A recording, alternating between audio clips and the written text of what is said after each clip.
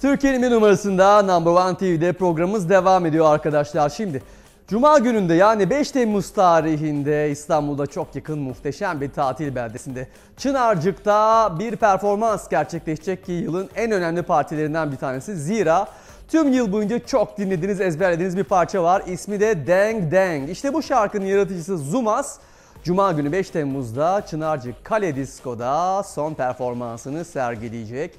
Hemen öncesinde de DJ Mert Hakan yani ben sizlerle beraber olacağım ve Number One'ın hitlerini sizler için bir bir mixliyor olacağım.